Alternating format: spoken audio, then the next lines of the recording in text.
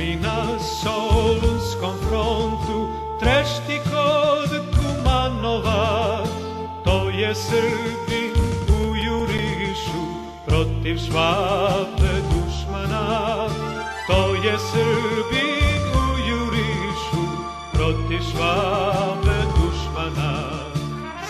Pozdravim sve, braću i sestre, pomaže Bog.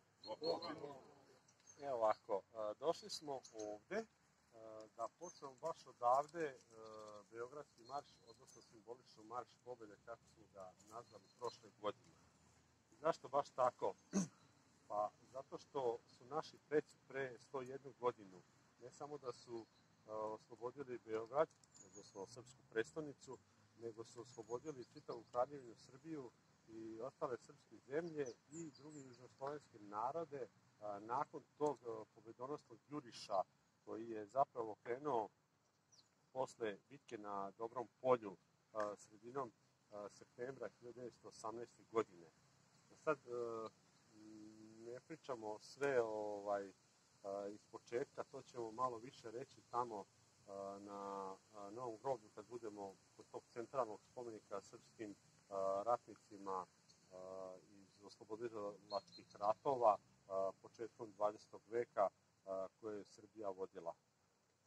Ovde smo došli zapravo na ovo mesto na Košutnjak, zato što se ovde nalazi ovaj srpski spomenik, znači spomenik u stvari srpskim junacima, koji su branili Beograd u jesen 1915. godine.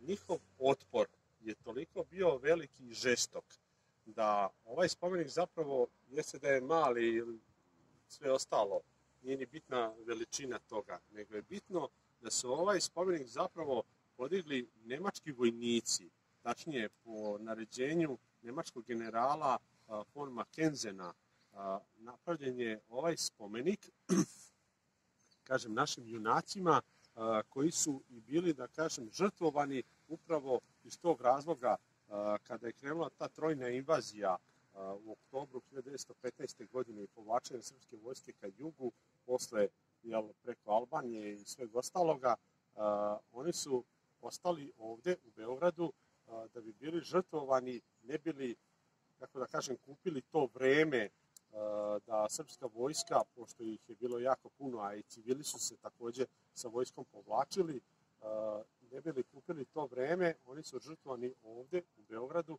i branili su ga herojski, što se kaže, svi do poslednjeg su izginuli. To je upravo i bilo interesantno samom nemačkom generalu, koji je tad bio zadivljen prosto tim otporom i onda je i tražio od svojih ovaj, vojnika, ljudi, da naprave spomenik faktički neprijateljskim vojnicima, što je jedan od jako redkih primjera uopšte u istoriji ljudske civilizacije. Nažalost, ovo je veoma malo poznat to uopšte mesto, mislim na, na ovaj konkretan deo. Košutnjak kao deo Beograda jeste poznat ovde dolazi jako puno ljudi, ali za postojanje ovog spomenika a, i da dolaze a, ljudi ovde, da se upoznaju sa našom istorijom, nažalost, to je veoma niskom nivou. Ja sam dole, što se kaže, proveo na Školskom fakultetu a, godina dok sam studirao, a zapravo tek kasnije ovaj, sam saznao za postojanje ovog spomenika i sve ostalo. Tad u to vreme, ne samo meni, nego uopšte čitavoj mojoj generaciji, nije imao to ko da kaže. Kao i za brojne druge stvari. Jednostavno, ovaj, taj obrazovni sistem bivše Jugoslavije i potonje ovaj, Srbije, Crne Gore i same Srbije toliko šturo informacija daje ovaj, našoj deci, omladine, đacima, jednostavno, ajde da kažem, nije mi čudno ovaj, što se ovo ne zna. Ali kažem, eto, njima ovaj, iz poštovanja odavde kreće Beogradski marš uh, i pešači ćemo znači dole preko Topčiderskog parka gde ćemo uh, na tom putu uh, da svratimo kratko do Topčiderskog groblja jer se tamo nalazi spomenik uh, našeg uh, velikog uh, prijatelja, to je švajcarac Rudolf Archibald Reis koji je i došao ovaj, 1914. u Srbiji, ali kažem da sad e, ne pričamo o tome ovde, pričat ćemo dole e, kod spomenika u Topčiderskom parku. Eto, toliko. Sad ćemo položiti venac i onda ćemo napraviti jednu